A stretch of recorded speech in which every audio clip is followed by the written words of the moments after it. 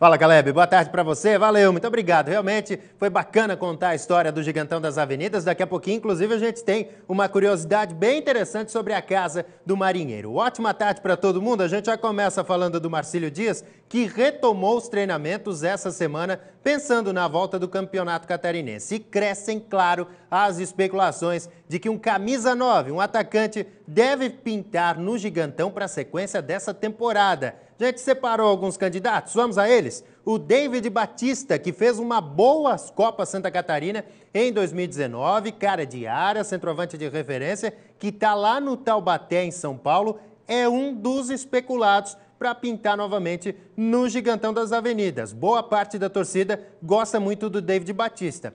Outro nome é o desse rapaz aí, o Hélio Paraíba, aquele mesmo que foi muito bem no Brusque e que hoje está mais discreto quando o assunto é gol, jogando no Cianorte do Paraná. Dois caras experientes, centroavantes, estilo de área, matador e que chegariam para titularidade, né? já que o Roberto Pítio ainda não se firmou nesse time do Moisés Egert.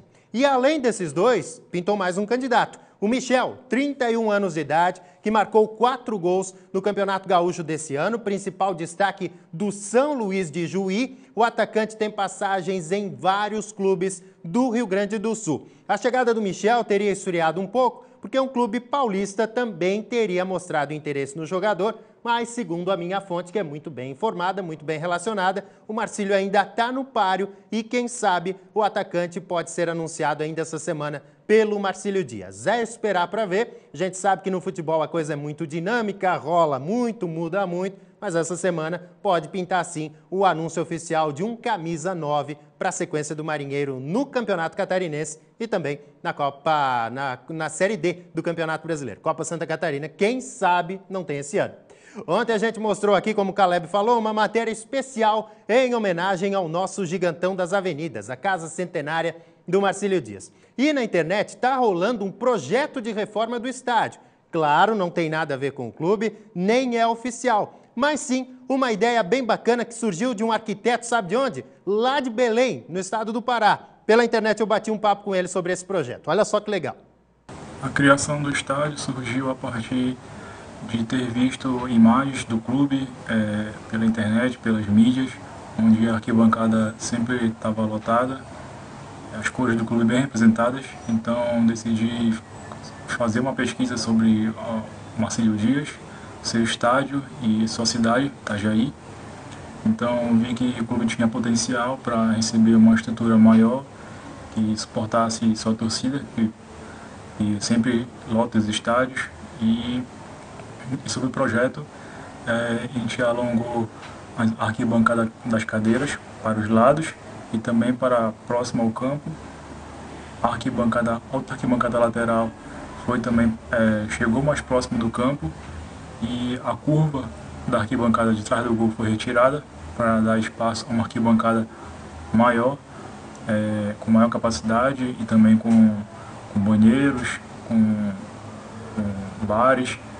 E a mesma arquibancada também foi criada atrás do outro gol, então ficaram quatro setores no estádio todos com rampas, com acessibilidade para cadeirantes e, co e cobertos também, né? Agora o estádio seria todo coberto. É, essa seria a ideia de projeto. Meu, meu nome é Denilson, sou de Belém.